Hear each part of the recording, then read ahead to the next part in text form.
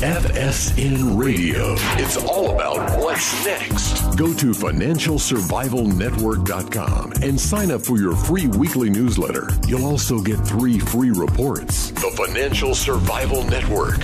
It's all about what's next. Welcome, and you are listening to the Financial Survival Network. I'm Kerry Lutz. It's January 17th, 2018. Big things happening in the crypto space, big things happening in precious metals. Well, Hey, as always, join the show. Email us, kl at kerrylutz.com. Well, what's going to happen with cryptos? Bitcoin down to 10,000. Ethereum, all the others, major crashes. In the meantime, gold silver showing a lot of strength in in the face of not so bullish news for it, which just shows you what the news is worth. Rick Rule's here, Sprott Global. Rick, uh, welcome back to the show. Thank you, Kerry. It's a pleasure being on with you. Hey, so you saw the crash. I mean, you know, it's last time I looked, and I try not to look at Bitcoin too much during the day because sometimes you wind up only watching it because the moves are so volatile and dramatic. But when I looked five minutes ago, and I'll, I'll say it's probably accurate,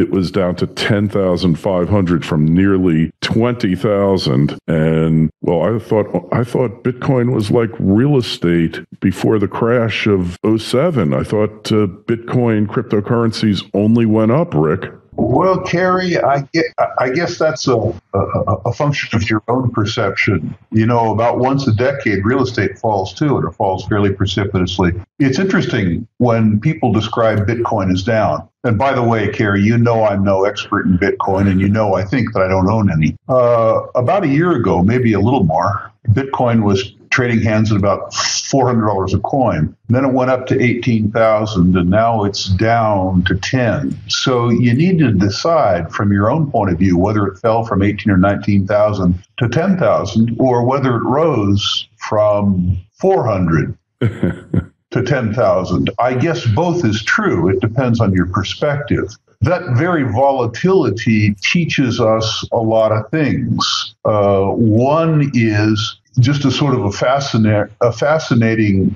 subject for discussing behavioral finance. The fact that an asset class where you don't have a lot of history to draw on to understand pricing signals. The second is, of course, the wonderful discrepancy between price, which you can see, and value, which is hard to ascertain.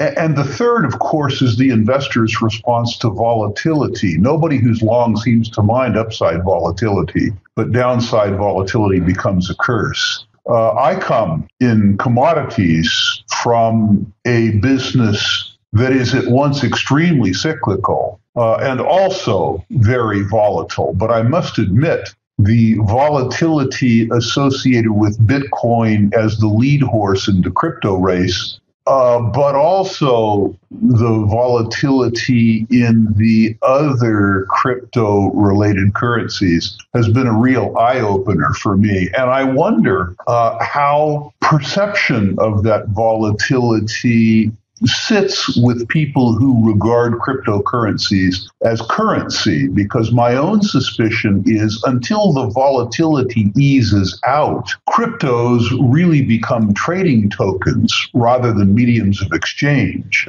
Three months ago, people were afraid to buy stuff with Bitcoin because they thought the price the, the price of the coin would go up, and hence the price that, of the item that they bought with the coin would also go up. And if part of its utility as is as a medium of exchange, uh, the price escalation, in fact, would seem to me to have devalued it as a medium medium of exchange. This isn't, by the way, expressing a point of view. Um, um, I don't have a point of view. It's just an observation from somebody who has made his living in capital markets for 40 years about what I regard as a fascinating asset class. You make such a great point. I think the label all right, language is everything in so many matters. It's certainly in emerging markets as cryptocurrencies. They shouldn't be called cryptocurrencies because they're not currencies. And yet, if you didn't call them cryptocurrencies, if you called them crypto tokens, or I don't know what else you want to call them, uh,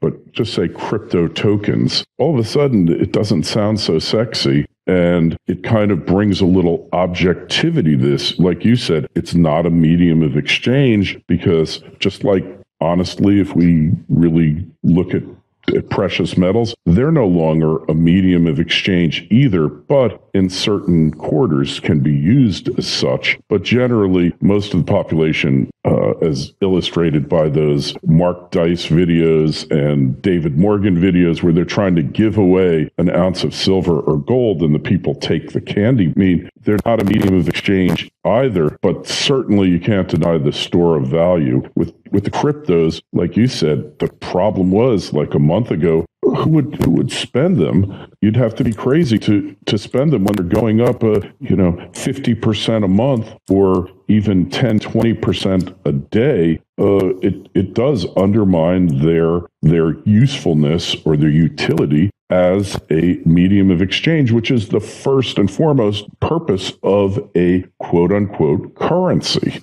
We're uh, at Sprott actually trying to address this. We, uh, I think I've told you this before, we're involved in a joint venture with IEX, the uh, electronic exchange operator made famous by Flash Boys, uh, in the development of something called the TradeWinds token, which is a, a crypto token that is fully backed by gold uh, and is redeemable through the facilities of the Royal Canadian Mint uh, so that we have the advantages of the blockchain and the distributed ledger, which theoretically greatly lowers transaction costs and clearing and settlement costs, while at the same time represents a medium of exchange that is simultaneously a store of value. Uh, we expect to debut this token, in fact, in the next 10 days, and we're highly excited about it. It amuses me that one of the objections to it is, in fact, that it is tethered to gold and as a consequence of that doesn't exhibit the volatility that the untethered coins have exhibited. This is sort of an amusing objection to me, although I understand it from a speculator's point of view. Our goal has been to uh, effect a more efficient means of gold ownership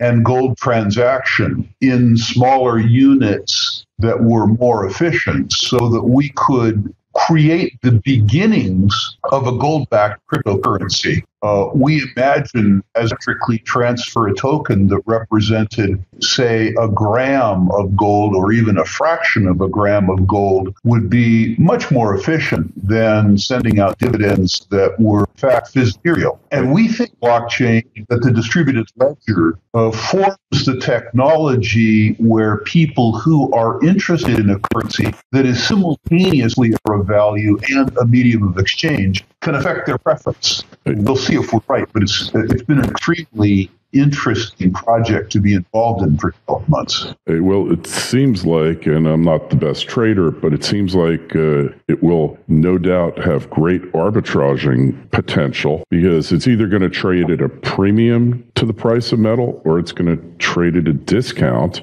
And therefore, uh, the knowledgeable traders are going to go look to try to capitalize on that imbalance, if you will.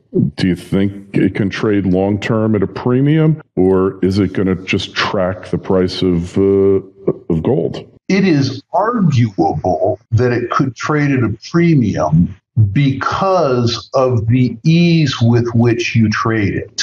Most people who want to own gold are constrained a, from owning it, but also from transacting in it because of the very high transaction costs. Mostly, mm-hmm. if one of your listeners goes out to buy 10 ounces of physical gold, he or she pays spot plus 300 basis points to the dealer. The specie, which involves selling it back to a dealer for spot less 300 basis points meaning that the implicit promise of gold ownership in the short term is that you cost yourself 6% if you want to transact in it. Our hope is that our token, because it's redeemable, uh, were it ever to trade at a discount of sort of more than 1% to the price of gold, would allow arbitrageurs to short physical gold while buying the token, surrender the token, and then use gold that it was surrendered for to fill in the arbitrage.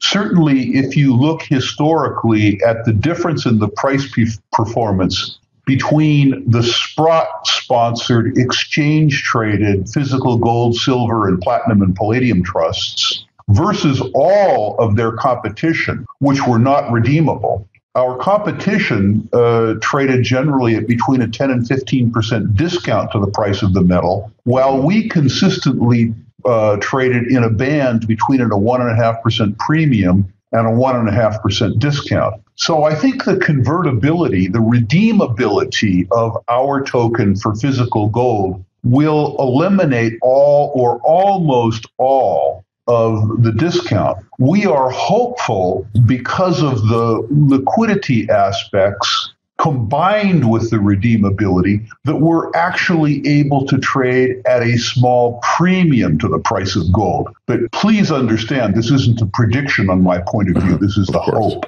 Of course. And what I find interesting about it, so presumably there's going to be a vault with gold stored in some place. Uh, I, I stored at the Royal Canadian Mint. Right. Uh, so. We we say jokingly that our security is provided by NATO.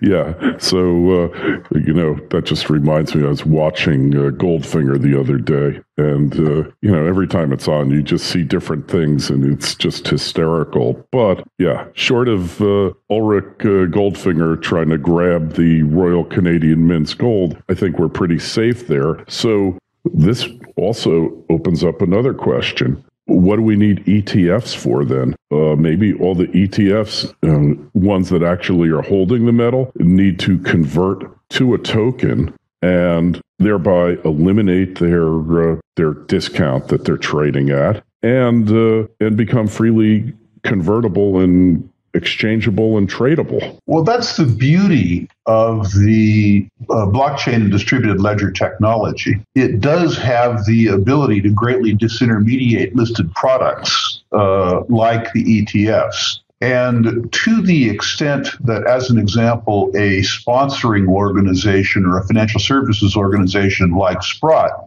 experiences a precipitous decline in the cost of offering and administering uh, liquid products, uh, then our ability to pay to pass on those savings to the ultimate owner, the consumer, is very high. If you uh, add back a feature that you and I find attractive that some other people don't find attractive, which is the anonymity uh, of both ownership and exchange. Uh, that utility, both for individual speculators and investors, but also for society at large, is very, very large. The difficulty that we have right now uh, in terms of our product relative to the principal physical ETF, the XAU, is that the XAU is a security and people can hold it in securities accounts. At present, our token isn't a security, and we don't have arrangements yet with any of the large financial services institutions, although we've approached the Royal Bank of Canada. Mm-hmm. Uh, we don't have the ability for individual holders to hold the token other than in wallets. We don't have the ability for them to hold the tokens as a security in securities accounts. But I think that the, the technology uh, and the community to facilitate this will develop over the next five years. Oh, yeah. I mean, it, the beauty of it, you know, we heard lots of rumors, Rick, over the past, uh, since Bitcoin's getting popular, of a bullion backed token being introduced, right. but it, it, really hasn't happened. So I applaud the fact that you're making it happen and assuming it trades freely and uh, you can figure out how to hold on to your wallet to stop it from getting hacked. Yes. It, it offers so much better a means of of holding precious metals because look, it's simple. On your part, you got your depository, which is audited, and you can audit it real time effectively. You've got the blockchain, which ties into the audit trail of the metal. So you know that it's there, right? Because each token, let's say it's an ounce token or it could be a kilo token or a, a thousand ounce token, right? Doesn't really matter. But if it's a thousand ounce token, it, its serial number is directly linked to the physical bar that's that's on deposit at uh, you know the depository. So at the mint, and yeah, it just it takes the uh, the credibility issues that you have with GLD, et cetera, and go on and name SLV. You know, just list the ETFs or closed end funds. All that credibility issue is gone at that point and then the blockchain is really fulfilling its biggest promise, which is transparency and integrity of the system. The gold is there. We know it's there both on the physical end. I mean, heck, you could just have a monitor in the in the vault because presumably you're not going to be adding currency units here. Once once you create the uh, unit, then then that's it. There's X number of units, right?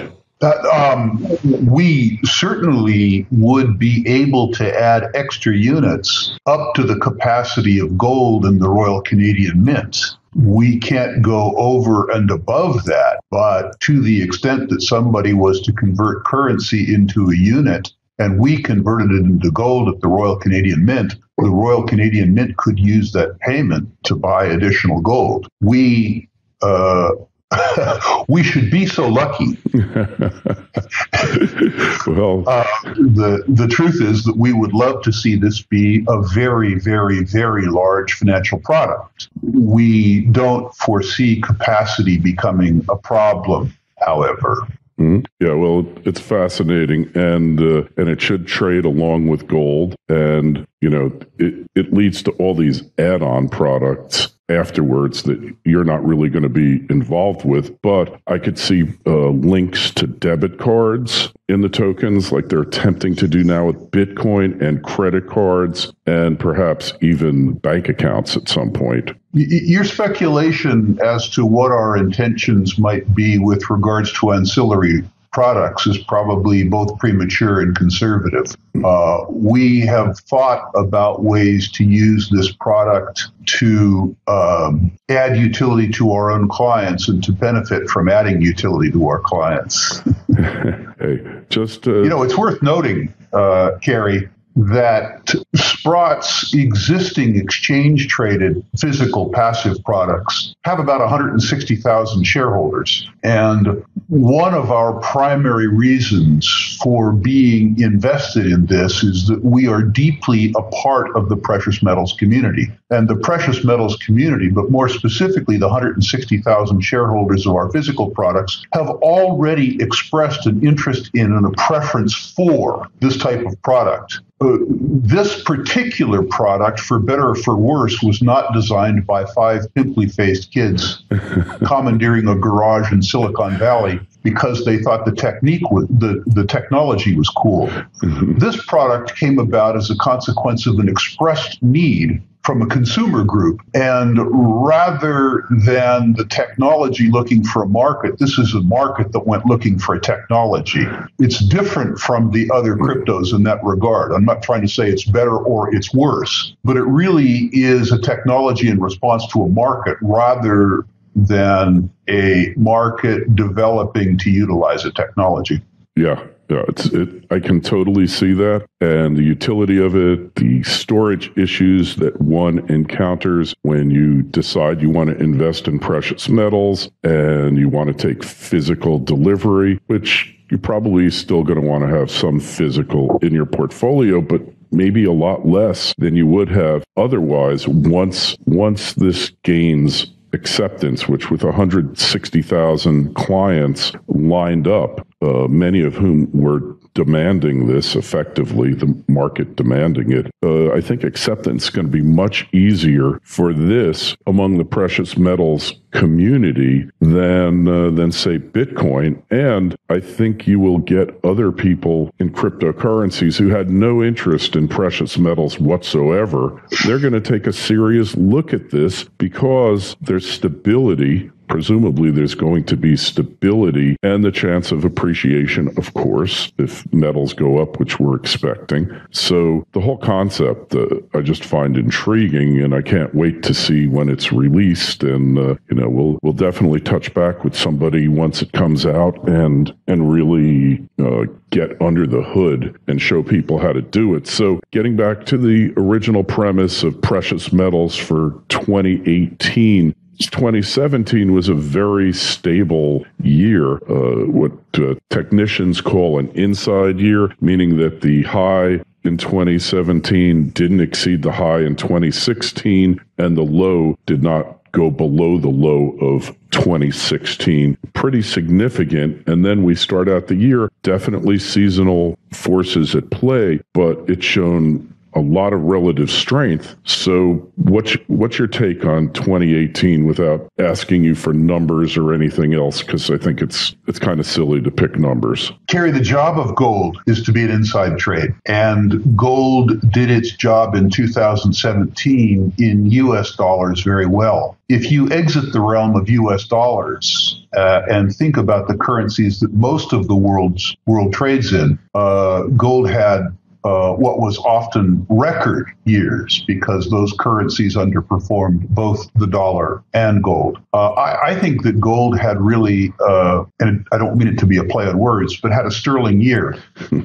in the sense that the gold price performed well during a period of time when confidence was high, particularly confidence as expressed by the US dollar, which was softer, uh, and confidence expressed in the US 10 year Treasury, which, as you know, I believe to be the world's benchmark security. The fact that gold preserved its sense as a store of value during a period of time when the circumstances that normally caused the gold price to occur, uh, to, to rise, pardon me, did not occur, uh, says a lot about the fact that uh, gold did precisely what it is supposed to do for people in 2018. There were, if nothing else, uh, by a sense of calm. If you look at the VIX as an example in 2017, the VIX was somnolescent. Uh, there was incredible liquidity in the markets. We can argue, at least I could argue, that much of the liquidity was artificial, but that doesn't matter.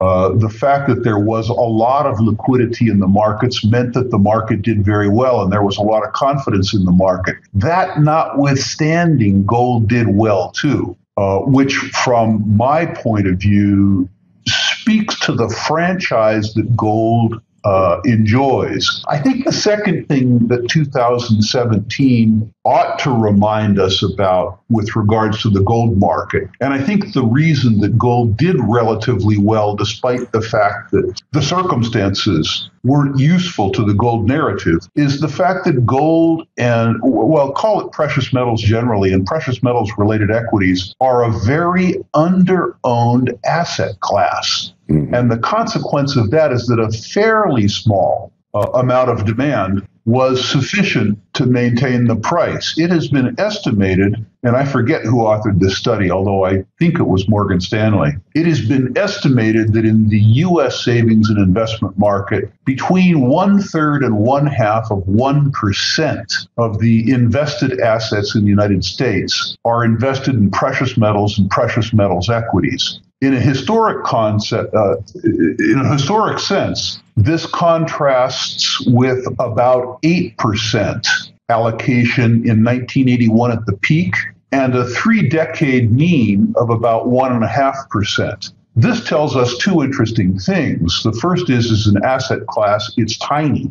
Uh, which may explain its relatively good performance last year relative to other asset classes that were more popular. But secondly, it talks to something about what we might expect in 2018 or 2019 if, as, and when the narrative associated with gold and other markets changed. If demand for precious metals and precious metals related equities returned to its three decade mean, uh, not to its 35 year old peak, that would mean that demand for precious metals and precious metals equities could grow approximately threefold in the largest investment market in the world. Yeah. Yeah. Well, totally with you because uh, it's become a very complacent, ignored, and basically the investor sentiment towards it is really one of pure indifference. You know, it's like a relationship. You know, be angry at me, be happy with it, be happy with me, but just don't ignore me.